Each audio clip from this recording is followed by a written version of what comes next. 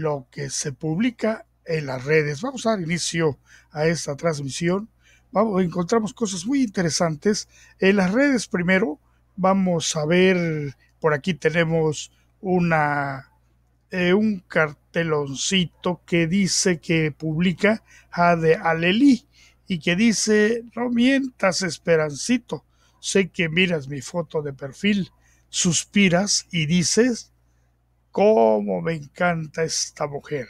Esto lo publica Jade Aleli en Facebook. Vamos a otra, a otra parte de este medio de información, esta red de información, y encontramos, encontramos unas fotos de la, de la senadora Rocío Abreu Artiñano, en donde está pues eh, conviviendo con amigos, con amigas de Checubul Sabancuy, que pertenece al municipio de Carmen, en el estado de Campeche.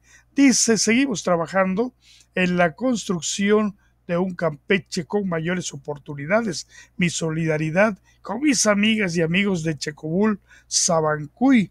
Eh, es emocionante verles nuevamente. Seguimos contigo, dice Rocío Abreu en esta visita que hizo allá en Checobul, Sabancuy, Carmen, Campeche. Y vamos a la última parte de esta transmisión y nos encontramos aquí una nota que publica Sabed Herrera Guzmán. Eh, lo publicó el pasado 19 de septiembre, o sea, antier. Y vamos a ver, eh, hasta ahorita no hemos visto en los medios de comunicación ninguna respuesta por parte de la Secretaría de Salud.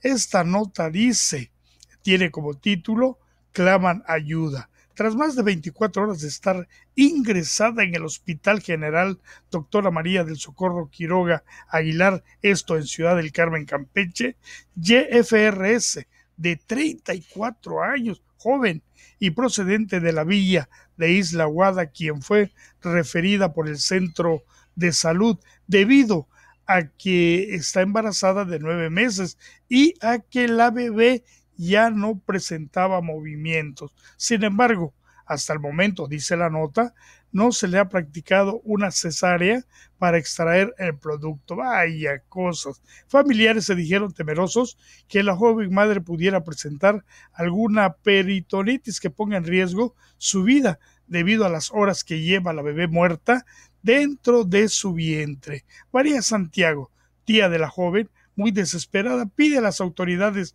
de salud del estado de Campeche que tomen cartas en el asunto, pues solo se le ha puesto medicamentos para que de manera natural expulse el producto. Sin embargo, consideran que lo ideal sería la cesárea. La trabajadora social del hospital nos dijo que no nos, que nos retiráramos a nuestras casas, que ellos nos avisarían, pero no lo hicimos, a pesar a pesar que sabemos que hay muchos casos de COVID, porque si ya perdimos a la bebé, no queremos perder a la mamá, dijo con lágrimas la tía.